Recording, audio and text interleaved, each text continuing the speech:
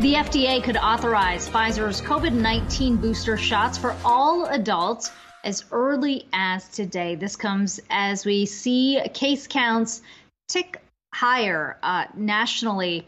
And also, as states have already begun expanding eligibility for those boosters. Let's bring in Yahoo Finance's Anjalee Khemlani, who's following that for us today. And Anjalee, I guess the thinking is to, to really get this out ahead of the big holiday travel rush.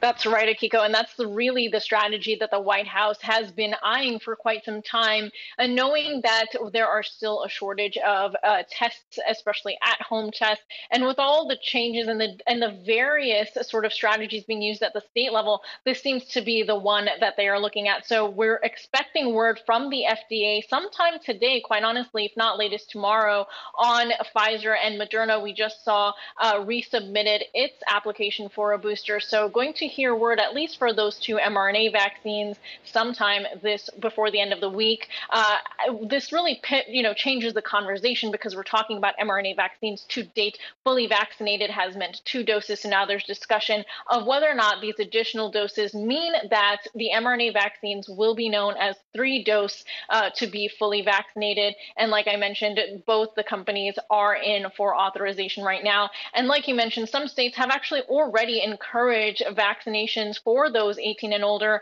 They include California, which really started it all. And then you take a look across the map, you can see several other states, including Maine, um, uh, Louisiana, Colorado, and, in, and New York City standing out uh, as a city on its own that's taken this on, uh, expecting some other states, quite honestly, to follow suit except for Florida, which uh, just passed uh, legislation to block vaccine mandates. So, you know, unlikely we're going to see some of that happen there. Back to you.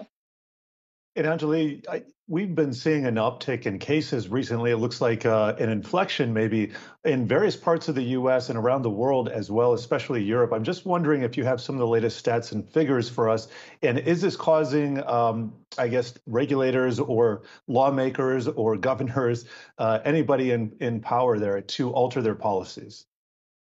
Well, that's what, yes, absolutely. And that's really what I was just referencing with Florida passing that legislation to avoid vaccine mandates. Um, it really opens the door, especially because of what happened with the Biden administration's attempt to allow OSHA to, eh, you know, implement uh, and enforce those mandates. That has been stayed. Meanwhile, Florida has taken to blocking any further mandates and has allowed employers to enforce some mandates, but with really flexible uh, medical and and religious exemptions, much broader, really, than what we've seen at the federal level.